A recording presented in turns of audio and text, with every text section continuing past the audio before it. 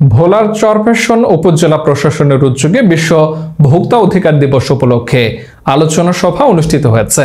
বিশেষ প্রতিনিধি হাওলাদার শাহাবুদ্দিন জানান পনেরো মার্চ বুধবার সকাল এগারোটায় উপজেলা পরিষদের প্রশাসনিক ভবন সভা কক্ষে উপজেলা পরিষদ চেয়ারম্যান জয়নাল আবিদিন আখনের সভাপতিত্বে এই আলোচনা সভা অনুষ্ঠিত হয়। এ সময় আগামী রমজান মাসকে সামনে রেখে বাজার মনিটরিং ও দিক নির্দেশনামূলক বক্তব্য রাখেন উপজেলা নির্বাহী অফিসার মোহাম্মদ আল নুমান ও সহকারী কমিশনার ভূমি আব্দুল মতিন খান।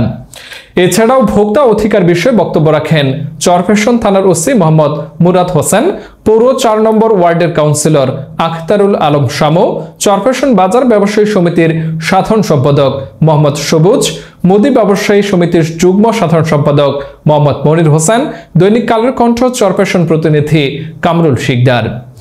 সভায় বিভিন্ন ইউনিয়ন পরিষদ চেয়ারম্যান, দাপ্তরিক প্রধানগণ, স্থানীয় জনপ্রতিনিধি, সাংবাদিক ও বাজার ব্যবসায়ী বৃন্দ উপস্থিত ছিলেন।